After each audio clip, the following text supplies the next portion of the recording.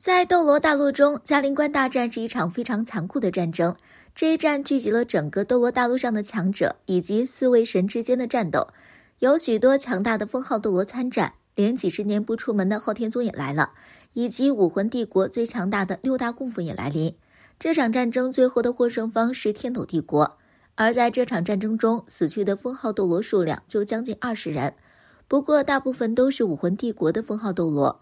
在前期的战斗中，由于唐三手持海神三叉戟，穿梭于战场之中，放眼整个嘉陵关，无一人是唐三对手，这才导致武魂帝国接连战败，损失了好几位封号斗罗。如今武魂帝国的几位长老就只剩蛇矛斗罗一人。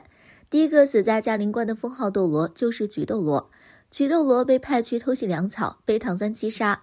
第二位是圣龙宗的宗主拓跋希。他不是死在战斗中，而是被比比东吸干了生命力而死。第三位和第四位就是鬼豹斗罗和刺豚斗罗，他们分别是被剑斗罗和骨斗罗击杀。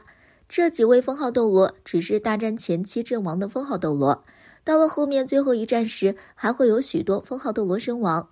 天斗帝国这边损失的封号斗罗就是剑斗罗和骨斗罗。在双神之战中，海神唐三被罗刹神比比东打败后，剑斗罗和古斗罗为了救唐三，直接开启了最强魂技，冲向比比东。成神后，比比东太强大，两人被比比东一招击杀。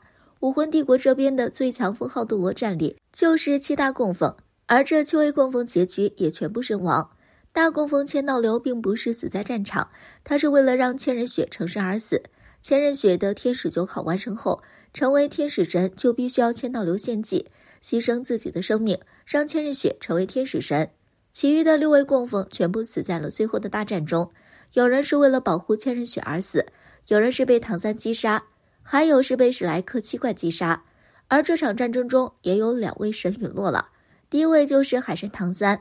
唐三从海神岛再次归来之时，已经成为海神，海神的力量非常强大。连天使神千仞雪都被打败，不过由于罗刹神比比东的到来，两位神联手攻击唐三，让海神唐三无法抵挡，这才被比比东的罗刹魔莲击中，捏碎了心脏身亡。不过好在奥斯卡和宁荣荣拥有可以复活神的武魂融合技，这才让唐三复活了。